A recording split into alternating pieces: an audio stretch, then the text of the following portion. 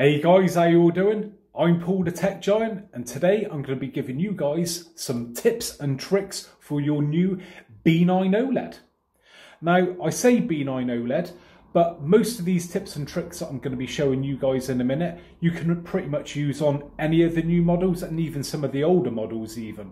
Um, I know I've previously done one on the C9 but I thought I'd just do a new one uh, for you guys for the B9 models because a lot of you guys have been asking me questions that I did cover in that video. So I thought I'd just do a fresh one and uh, hopefully it'll reach a lot of you new buyers out there and hopefully help you along the way with the usage of uh, your new TV. But like I said, if you've got a C9 or an E9, hopefully a lot of these tips or tricks can be implemented on those TVs anyway. Before we get into the video, I just want to remind you guys about the giveaway that we're doing. Now we've teamed up with the guys at box.co.uk to celebrate the channel name change and the launch of my new social media pages. Now we've got six prizes to give away. We have five uh, Netflix vouchers worth £25 each and one top prize of an LG soundbar worth £600. Now to enter, all you got to do is be within the UK and over 18 and I will put a link in the description where you can enter. Now for everyone outside of the UK, I'm not going to forget about you guys because I'm going to be giving away a Google Home Mini and all you got to do to enter that is uh, be a subscriber to the channel. And uh, closing date for both of those giveaways will be the 8th of December. Now, if you do have any questions about uh, anything that you see in the video today, please leave a comment below. I try to get back to every single person who uh, asks a question or leaves a comment. And uh, yeah, if I do miss anyone out, I do apologise because I do get quite a lot a day, but I do my best to try and get back to everyone. So yeah, feel free to leave a comment and uh, please let me know what you think of the video. Please bear with the video. It's not going to be the shortest one because I've got a, a lot to get through. So please stick to the end. So let's crack on. Right, so first tip or trick. Well, really, it's just more of a little tip really than a trick. Um, might sound a silly thing to start with, but we'll start on the outside of the TV if you want to look at it like that. And this is something that so many people do not even realise about. It's unbelievable until I mention it. And I guarantee there will be someone watching this now. And when I point out, they go, oh, I didn't know that. So anyway, the first thing I just want to point out is when you get this TV out of the box, there is a film on the back of this TV. You want to make sure you remove that because apparently it can cause um, heating issues with the TV. And there are so many people that do not realise that there's one attached to the back because on the front they put pull tabs on it and make it clear that there's one on there. But the one on the back, if it's been applied properly, you can't see any air bubbles or anything like that and it can be hard to see. So might seem to seem a bit of a silly one to start with, but it is very important and so many people do miss that. It's unbelievable. So yeah, first thing is make sure you have removed the film off the back of the TV. Next up, sticking with the theme of being on the outside of the TV as such now, and uh, that is how to control the TV if you have lost your remote or anything like that. Now, in the middle there, if you haven't seen my unboxing video, you might not know about it, but underneath here, there is actually a little button. Now, when you press that button,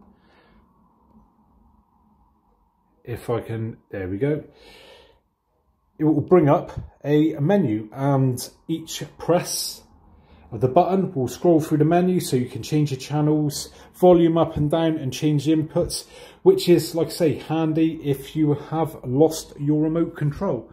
Moving along now and uh, we'll have a look at um, something to do with the remote. Now, get your remote and you have got a settings button there. Now, one press on that will bring up your basic setting options there. So you've got aspect ratio and picture and all that sort of stuff. But if we come back out of that, and if you hold down the settings button, so just keep your finger on it, that then will take you into to your main menu. So one press for the sort of shortened version of the menu and one long press for your main menu. Now, whilst we are in this menu, I'm going to be uh, showing you how to change the pointer size. Now, what you're going to want to do to do this is go down to accessibility, click on that, and then you have got pointer options. Now simply click on this. There you, there you go. You've got uh, three different sizes of pointer to choose from. So simply click on one. And as you can see, it changes it to a small one there. Then you've got your medium and then your large. Also, you can change the uh, the tracking speed, which uh, gives you the option of slow, normal and fast. Now there is actually a quicker way to get into that, uh, which again I will show you now. Another little tip here and or trick, whichever way you want to look at it. Now if again you want to get into the accessibility, all you do is simply hold down the mute button. So one long press on that and that should fire straight into the accessibility so again, change your pointer or, you know, your accessibility settings. So audio guidance, subtitles and all that sort of stuff. So a handy little one to know there.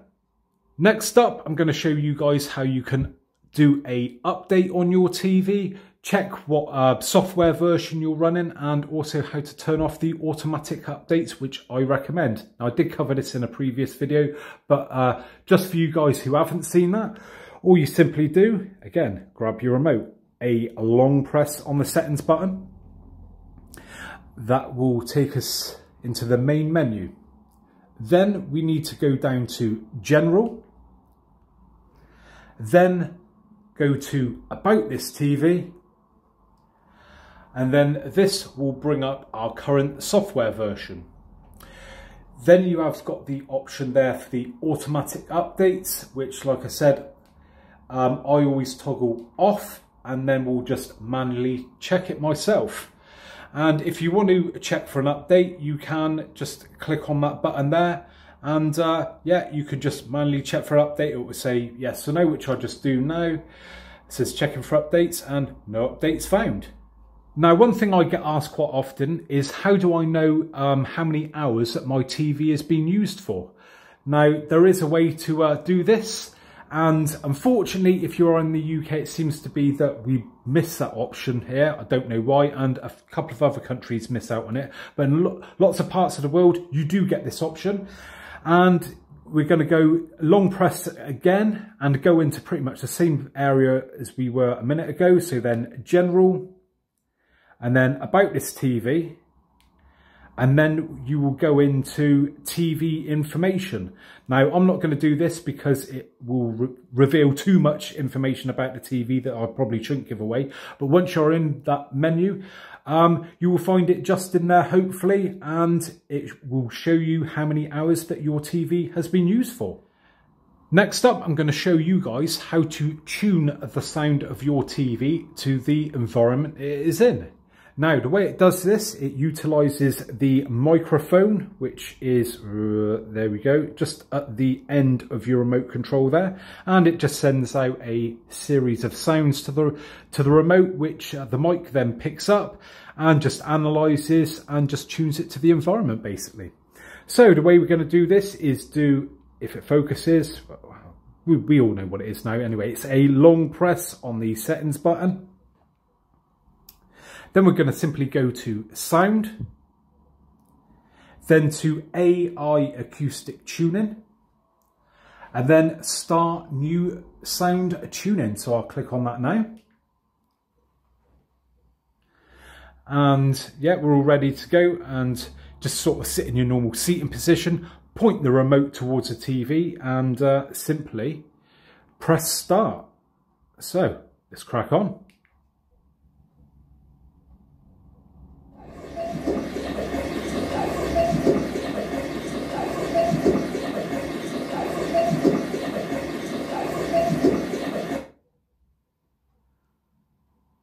There we go.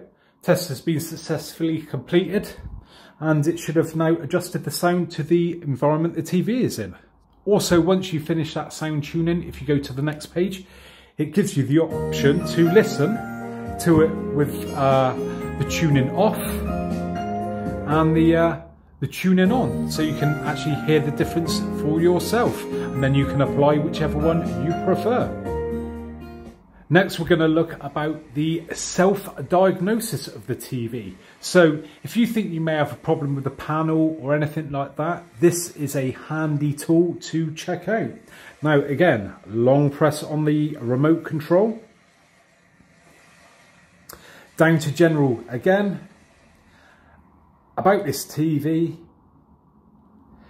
Then we go to quick help.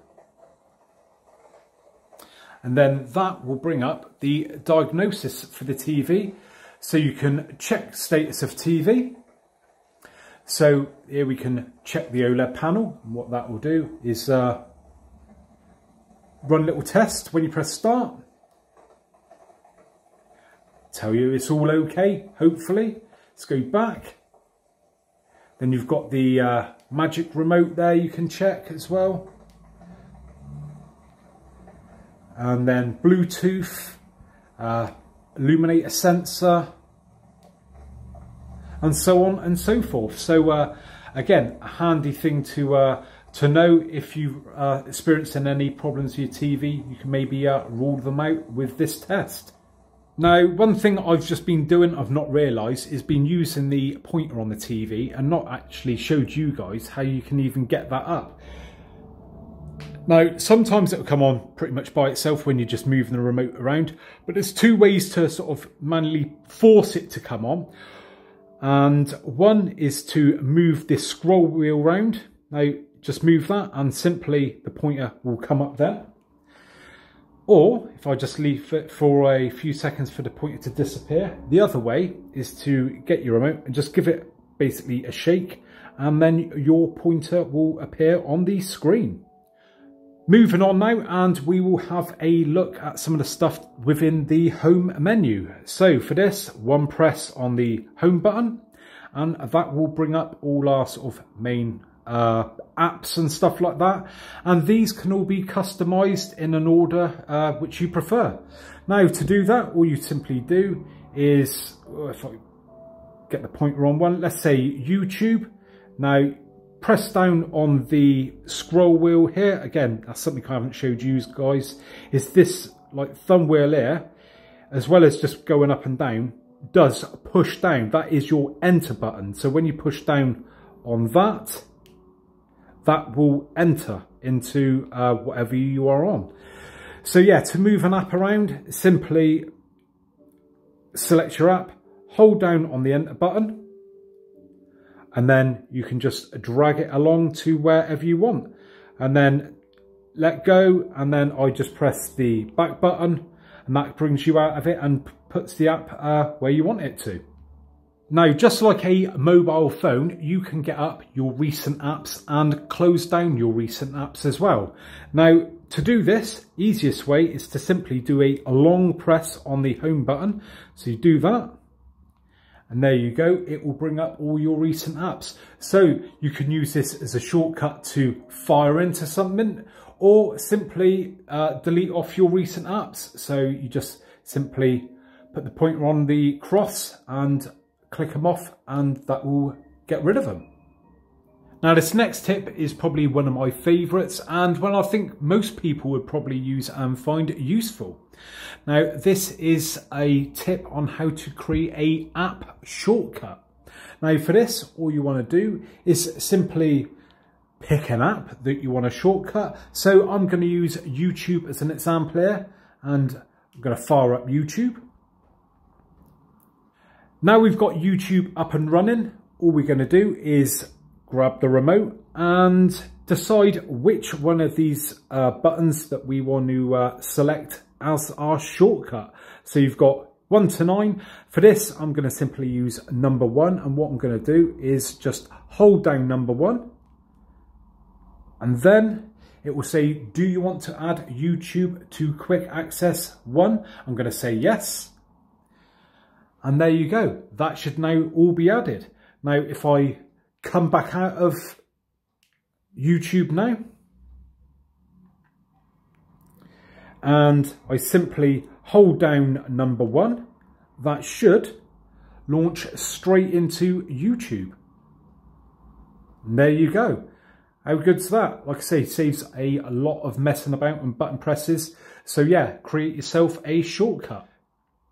Now there is actually a another way to do this as well and also how to delete off your shortcuts if you've got some there and you want to get rid of them. Again, grab your uh, remote and hold down zero. And then that should bring up your uh, menu there for your shortcuts where you can delete them off. Or again you can add some. So if I say number two I'll press add and then that will bring up all the things that I've I, you know might want there. So you've got your live TV I've got my Skybox there now TV and so on and so forth. So you've got all your apps and stuff in there. So uh, really handy thing to uh, to note and something that I use every single day. Now, if you're enjoying this video far, I would really appreciate if you would do this next little trick for me. And all you got to do for that is get your home menu and go all the way to the end, or one from the end, should I say, and highlight this little pencil or pen icon. Click on that and then go to add YouTube channel. Now, once you're in there, you just want to type in the Tech. I think we all know what it's going to say now, don't we? Giant. And then, once you finish typing that in, with any luck, go to search. There we go. I come up there and uh, all my videos will show up and then simply then click on add to home. And then what you want to do is go all the way to the end there and put me right at the start. And then the great thing about this is each time that you um, highlight that, it will come up with all the latest videos from my channel. So uh, please, I'd really appreciate if you would do that. Now, another good one that I've got here for you guys, and that is how to get up the audio description and also how to control um, other devices, such as like an external box, like a Skybox, and get up information about that connected device. So it will tell you like the resolution and so on and so forth. And one other great thing is how you can have a uh, split screen mode as well. So I will show you that lot right now. Now what you're going to do for this is on the remote, if it will focus, come on camera, it ain't going to focus. It's going to play silly buggers. But anyway, there's three dots here I think it's three dots. I can't even make it out with this thing. Why isn't it focusing? There we go. Pain in the backside. Right, so do a long press on that. And then it should come up. Audio description is now on. And to turn off, again, just a long press on that one.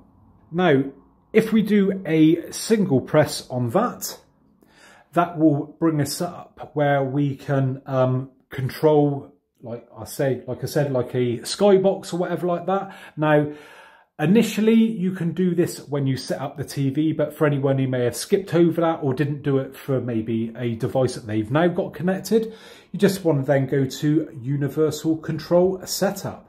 So we'll click on that and I'm going to click on my set-top box. But obviously you've got options for other things here.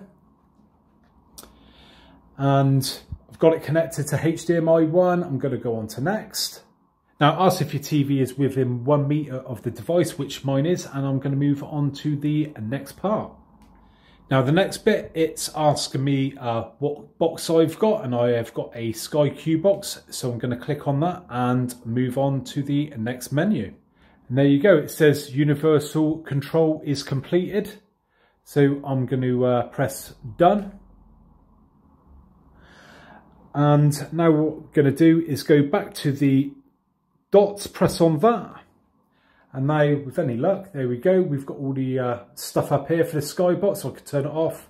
Go to menu, which obviously I've got up at the moment. Yeah, basically you've just got all your uh, controls there for it, which is handy. And obviously now you can just use your remote to navigate around that. But also you have got your um, info here. So if you simply click on that, that will bring up um, what is basically going on with the display, what it's getting. So it's a 16 by 9 um, signal coming in there, um, 2160p, and then your sound there, PCM. So yeah, all uh, all pretty good. And the other thing, again, going back to the uh, three dots there, is your multi-view. So simply click on that. And then you can watch uh, like a split screen. To, to change which one, um, whichever one it is, obviously just click on the little downwards arrow there. And it brings up the options of which HDMI you want to select. Or on the other one, um, sort of you've got what we've got here, cable, antenna, satellite. So yeah, I don't personally use that option that much, but you know, some of you guys may find it useful, so uh, it's there if you need it. Moving along now, I'm going to show you guys how to uh, download an app and a uh, good little app if you uh, got a new TV and you just sort of want to uh, demo it and try it out like its best of its abilities, if you want to look at it like that. So again, want to get up the home menu and you're going to want to move along until you get to the LG content store. Now click on that and you've got the option for your you know, apps, movies, TV shows and all that. I'm going to simply go to apps